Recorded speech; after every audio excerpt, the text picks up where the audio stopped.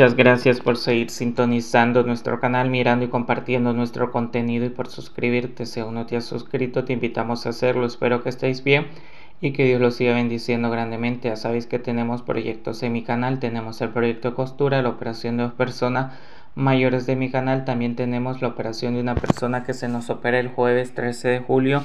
Ella tiene 73 años, lo operan de cataratas, vive en Honduras, le cuesta 10 mil lempiras. La operación ya tenemos 6 mil, nos faltan 4 mil que esperamos a más tardar tenerlos entre hoy y mañana. Así que Dios va a mover y también el niño Doña Francis que tiene una hernia en su parte genital que también esperamos recaudar. Ya sabéis nuestro lema más alegría, menos tristeza, más positivismo, menos negativismo y seamos constructores y no destructores en nuestra sociedad. Y hoy sí nos vamos ya al lío de lío y como suelo decir, agárrense que vienen curvas y curvas muy pero muy peligrosas. Karina reta a Sara una pelea y Sara le advierte que ya la tiene demandada. Madre mía, madre mía. Por eso es que Marvin se ensancha, por eso es que Marvin se cree el Brad Pitt de allí del jabalí, porque como estas mujeres se ponen a pelear por algo que no deberían de pelear, imagínense la Miss demanda o la señora demanda, como le llamamos a partir de ahora a Sara, que se cree con la autoridad de estar demandando y que quiere meter preso a medio mundo, diciéndole a Karina que la tiene denunciada. Porque porque le robó su ropa, una ropa que dice Karina que estaba llena de gusanos, que estaba nacida, pero ella dice que eran unos vestidos bonitos, unos vestidos que ya se los tiene que pagar porque porque era su ropa y eran sus cosas. Madre mía, tal parece que quizás la señora demanda vestía de Versace, de Carolina Herrera, que está peleando unos vestidos del mercado que no llegan quizás ni a 3 dólares, pero ella los está peleando. Ella se cree ahí la, la Miss demanda y la señora demanda se cree que esos vestidos que son Gucci, Versace, que madre mía, ves que Sara creo que no está bien y Sara muchas veces ella está delirando, digo yo, porque es que dice algunas cosas que no concuerdan de una persona que de verdad necesita asesoría, terapia y psicológica y todo eso. Y no lo digo en mal plan, porque yo siempre recomiendo la terapia psicológica en buen plan. Y yo siempre estoy en contra de que las personas digan que los psicólogos son para los locos. No.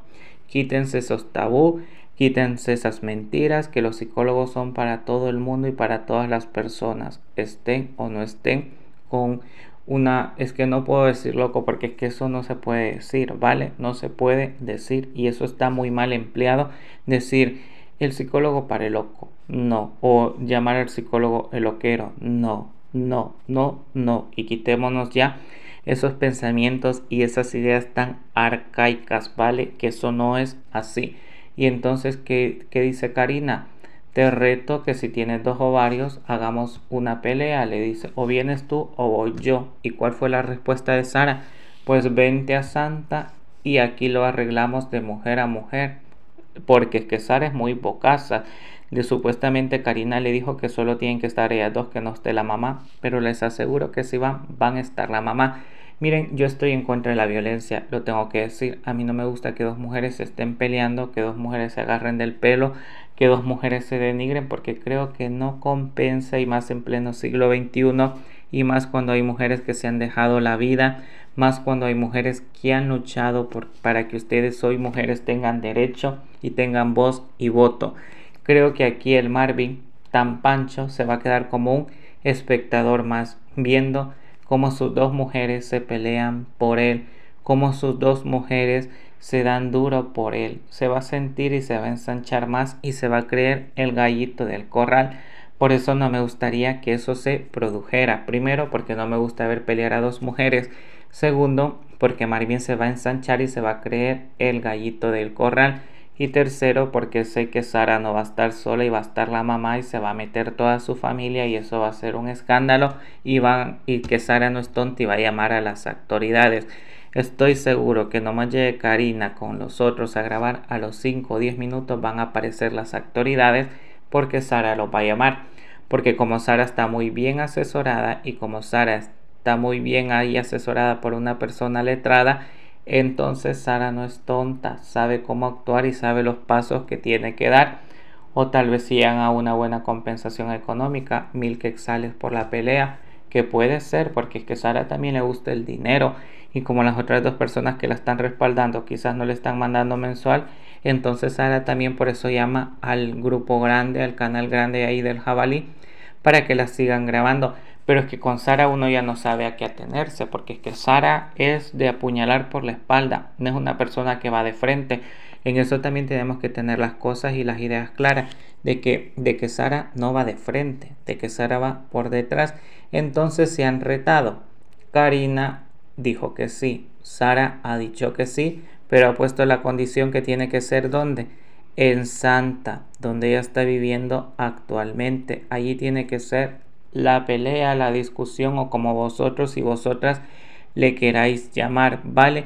¿Ustedes qué opinan de esto? Miren, yo voy a dejar ahí para que también vosotros comentéis en los comentarios, porque es que miren, al final creo que la señora demanda o la Miss demanda, como le podemos llamar, porque a partir de ahora la vamos a llamar así.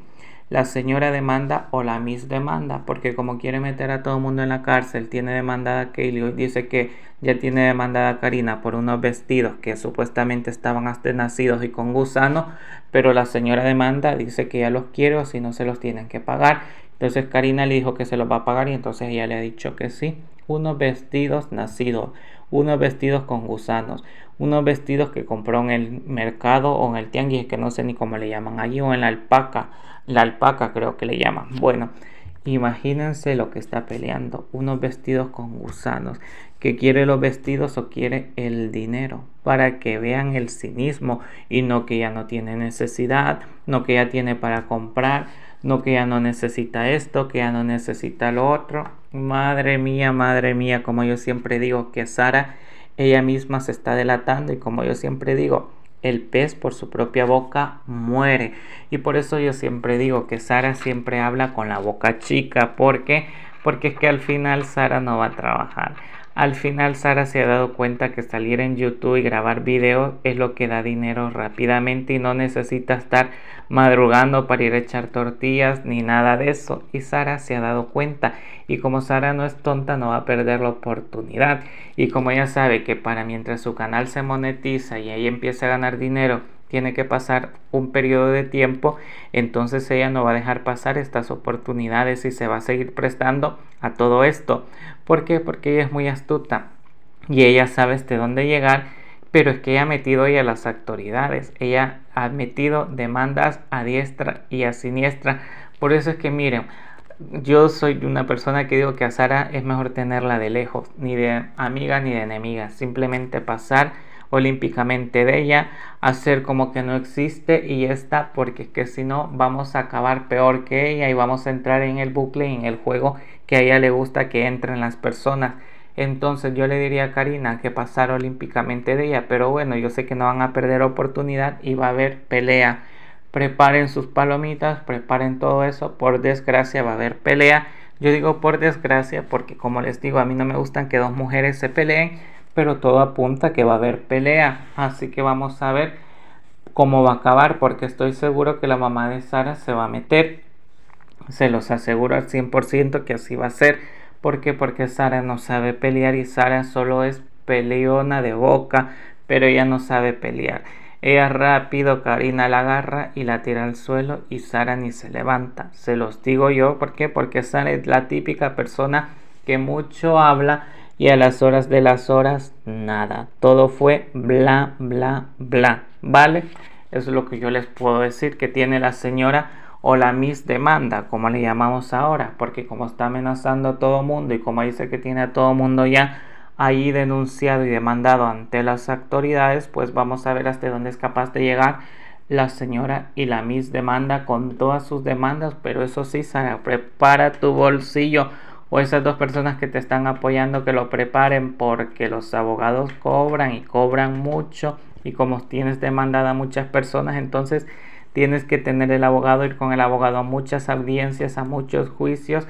Así que ese bolsillo tiene que estar acolchonadito de dinero porque es una inversión que genera mucho gasto. Así que, pero como la señora y la Miss Demanda se ha metido a demandar a todo mundo, pues que apechugue, como se dicen, y a ver qué pasa con esta pelea y este reto que se han lanzado en Santa.